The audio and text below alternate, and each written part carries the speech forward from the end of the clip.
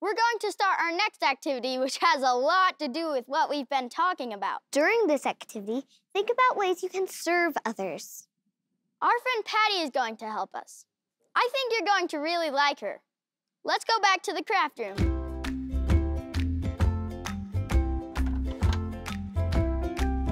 Hi, Patty! Hi, Patty. Hi, Payson and Brianna. We hear you have a fun activity for us. We get to tell stories with rocks.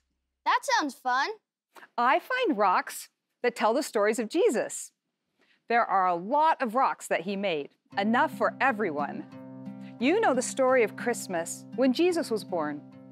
Do you remember the story when Jesus rode a donkey into Jerusalem? The people celebrated him as their Savior and King.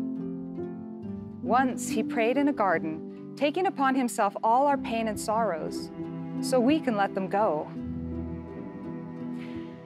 He willingly gave his life on the cross to rescue us and bring us home. And then Jesus came back to life.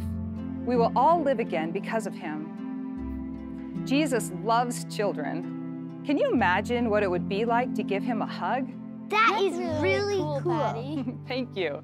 Now let's make some rock art together. Are you ready? Yeah. Mm-hmm. It's so easy to make just about any picture with only two rock art shapes, long rocks and circle rocks. Let's make a person. So we can use a long rock to be the body and a circle rock to be the head. My favorite is to use curved rocks because it shows emotion. Hmm. Let's tell the Bible story of a dad who ran to find Jesus to heal his very sick little girl. By the time they got to her home, she had died, but the Savior was still able to bring her back to life.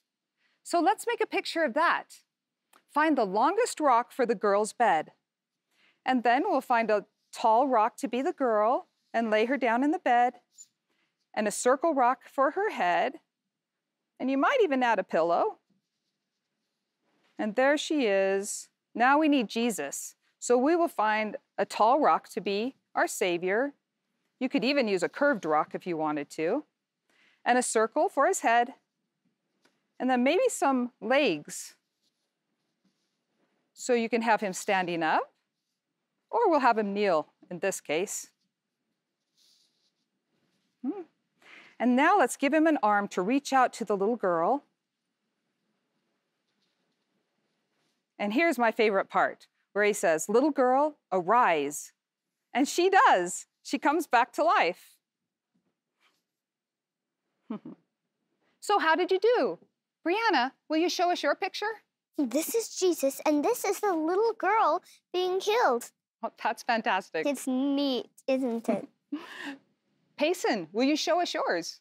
Yeah, so this is Jesus, and uh, his hand is out because he's trying to heal her.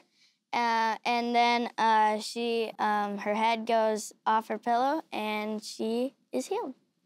Your rock art looks great.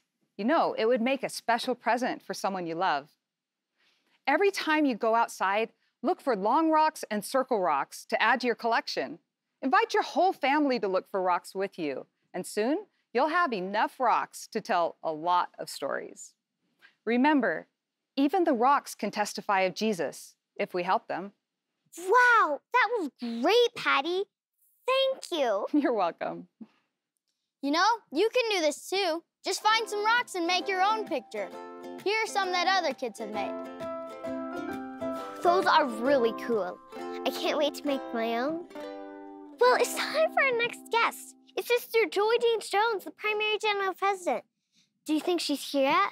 Let's hurry. Bye, Bye, Patty. Bye, guys.